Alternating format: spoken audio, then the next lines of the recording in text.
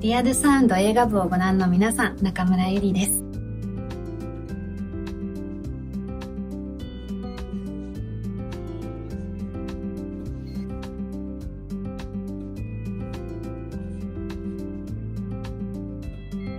私が出演するドラマ「ただ離婚してないだけ」が毎週水曜深夜0時より放送中です、